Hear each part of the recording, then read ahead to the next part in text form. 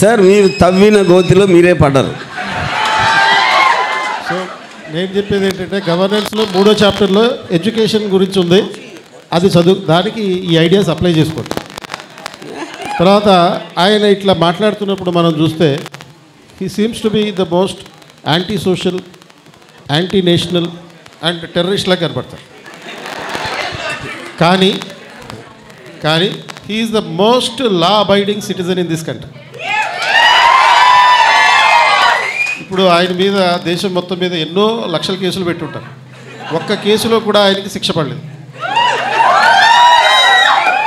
So that ఇంకోటి నేను ఇంత మాట్లాడుతాను అమ్మాయిల గురించి. నేను ఒక్కనే మీటూ క్యాంపెయిన్లోకి రాలేదు.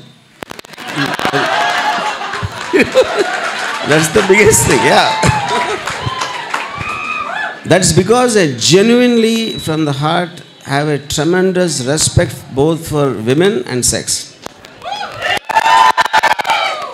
so మరి ఇంత లా బైడింగ్ సిటిజన్గా ఉన్నటువంటి మీరు చట్టం గురించి ఏమైనా తెలుసుకుంటారా? లేకపోతే ఏమైనా స్టేట్మెంట్స్ ఇచ్చేటప్పుడు that's that's a good question ఇప్పుడు నేనేంటంటే ఒక సొసైటీని డిసిప్లిన్ చేయడానికి దేర్ ఆర్ వేరియస్ ఫ్యాక్టర్స్ ఒకటి రిలీజియన్ ఉంటుంది ఇంకోటి మొరాలిటీ ఉంటుంది ఇంకోటి సోషల్ యాక్సెప్టెన్స్ ఉంటుంది ఫోర్త్ది ఒక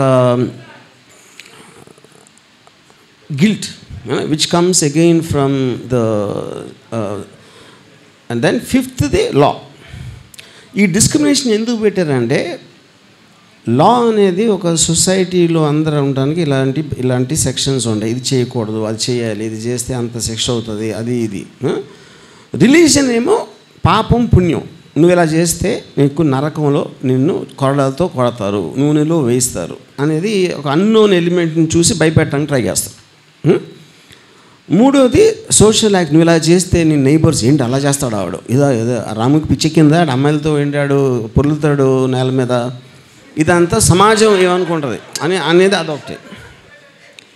ఇంకోటి ఏంటంటే మొరాలిటీ అంటే కొంచెం గిల్తోటి ఇప్పుడు పక్ పక్ అంటే ఈవెన్ మీరు ఒక క్రిస్టియానిటీ కానీ కొన్ని రిలీజియన్స్లో పక్కింటోడి భార్యని చూడకూడదు అంటారు.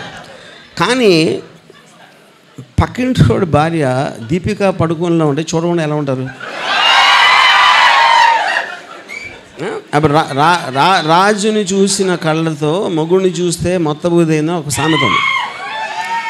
అప్పుడు పక్కింటి భార్య చాలా అందంగా ఉండి మీరు ప్యాన్ చేసి మీ మీ భార్యని చూస్తే అది అప్పుడు ఇంకా అది కానీ అది బయటికి చెప్తారు. ఆడు చూసే చూస్తూనే ఉంటాడు. సో ఇప్పుడు నేను పర్సనల్గా ఈ మొత్తం చెప్పిన ఈ నాలుగు ఆస్పెక్ట్స్లో నేను కేవలం లాని ఒక్కటే నేను అవాయిడ్ చేస్తాను. దానికి కారణం ఏంటంటే నేను సొసైటీలో ఉన్నాను. నేను ఇప్పుడు స్వర్గం ఉందనుకోండి స్వర్గం కూడా ఏం చేస్తారు?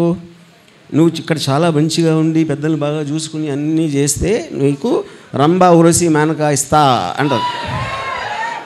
తర్వాత అమృతం ఇస్తా. అమృతం అయితే గ్రేప్ జ్యూస్ అయితే అవ్వదు అదేదో ఆల్కహాల్ అయి ఉంటుంది. Mostly I I hope it's vodka కానీ అది నాకు ప్రాబ్లం లేదు. ఎందుకంటే నేను స్వర్గానికి వెళ్ళే సమస్య లేదు. నేను చేసినాడు అన్నట్టు. ఓకే? ఇంకోటి ఏంటంటే ఇప్పుడు ఒకవేళ నేను ఇక్కడ అంతా మంచిగా ఉండి అంటే సొసైటీ దృష్టిలో మంచిగా ఉండి చచ్చిపోయి పైకి వెళ్ళాక అసలు రంభవరిసి లేరు అనుకోండి. ఏరియా వాట్ అంటే- అంటే అప్పుడు వాళ్ళు ఎవరు చెప్పాడు? నీకు అంటాడు నేను నేనేం చెప్పానా? వచ్చి అందుకని a bird in hand is worth two in the bush అనే దాంట్లో ఆ రంభవరిసి మ్యాన్గా ఇక్కడే ఎత్తుకుంటాను నేను. Okay so I don't want take a chance అది అది అది పాయింట్ ఓకే సో తర్వాత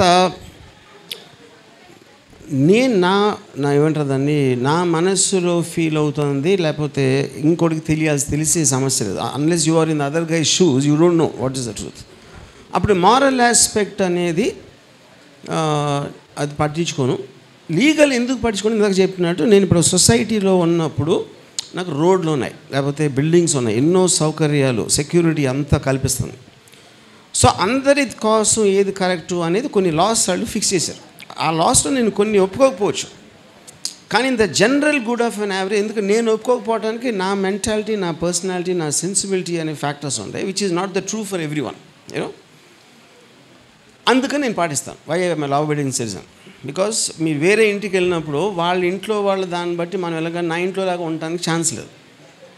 దట్ ఈజ్ వన్ రీజన్ లేక కానీ ఇప్పుడు నేను అడవిలో జీవించడానికి నిర్ణయించుకున్నాను అప్పుడు లా కూడా వాడి పాటించాను ఎందుకంటే జంతువులకు లా ఉండదు కాబట్టి అది అది. సో ఆల్వేస్ మీరు ఏ రిస్ట్రిక్షన్ తీసుకుంటారో ఉన్న ఆప్షన్స్లో ఏదేది మీకు అవసరం ఏదేది అవసరం లేదు ఏదేది ఉంటే మీ ఏ ప్లెజర్స్ కోల్పోతారు అనే ఒక థాట్ ప్రాసెస్ని నేను చాలా సిన్సియర్గా స్టడీ చేసి తీసుకున్న డెసిషన్ అది.